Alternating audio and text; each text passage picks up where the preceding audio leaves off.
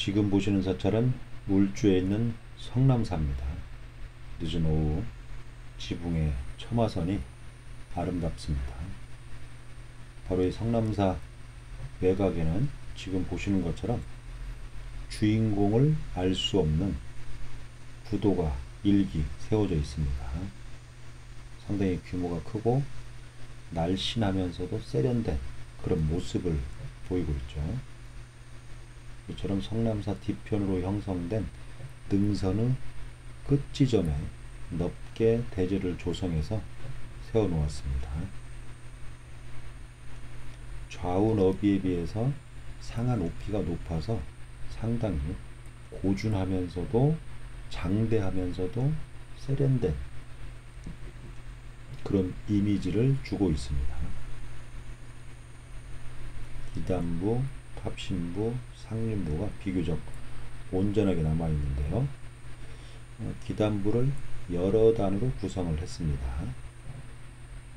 지금 보시면 사자가 새겨진 것, 그 다음에 구름 문양이 새겨진 것, 그 다음에 독특한 안상이 새겨진 중대석, 연화문이 새겨진 상대석, 문비와 좌우에 조각상이 새겨진 탑신석, 지붕 형태로 제작된 옥계석, 그리고 여러 부재를 올린 상륜부 이렇게 구성이 되어 있죠.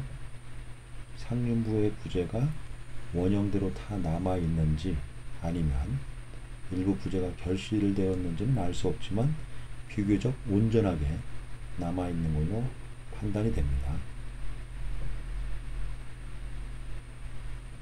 각각의 부재가 다른 것 같지만 하나의 구조체로서 장인이 아주 치밀하게 설계 시공했음을 알 수가 있습니다. 사자상 모습이죠. 지금 기단부를 보면 하대석이 2단으로 구성되었음을 알 수가 있습니다. 그래서 저 같은 경우는 하대석의 아래에 있는 부재를 하단석, 하대석의 상부에 있는 부재를 상단석이라고 부르고 있습니다.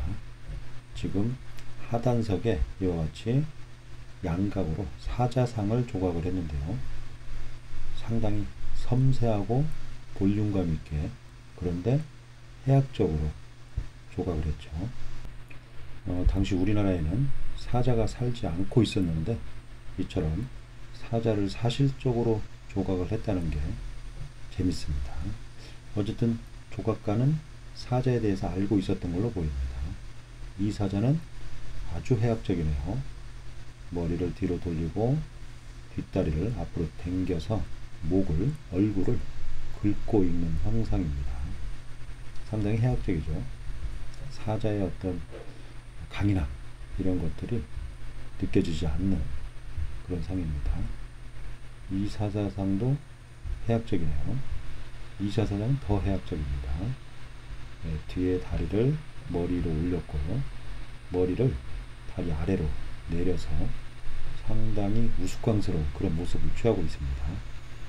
구름 문양이 새겨진 상단석, 안상이 새겨진 중대석, 그리고 아주 볼륨감 있고 섬세하게 새겨진 연화문이 새겨진 상대석입니다. 그리고 탑신석에는 지금 보시는 것처럼 문비 좌우에 갑옷을 두툼하게 입은 사천왕상을 배치를 했습니다. 문비 좌우 두 곳에 사천왕상을 배치를 했죠. 상당히 볼륨감 있습니다. 이러한 조각 기법은 신라 시대나 늦어도 고려 초기가 아니면 보기 힘든 그런 조각 기법이라고 할 수 있습니다. 그리고 구제, 석재의 표면도 아주 깔끔하고 정연하게 다듬었죠.